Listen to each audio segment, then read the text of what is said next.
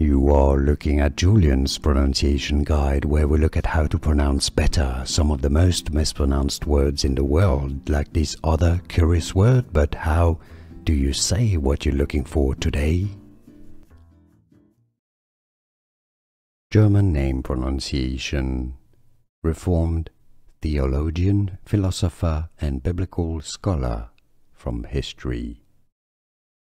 Friedrich, Fried Rich, you could say Friedrich in English. Schleiermacher, Schleiermacher in English, Schleiermacher. So Friedrich Schleiermacher, or German pronunciation, Friedrich Schleiermacher. Here are more videos on how to pronounce more confusing words and names too many mispronounced. Like this video if you found it useful, I appreciate your support. I'll see you soon and thanks for watching.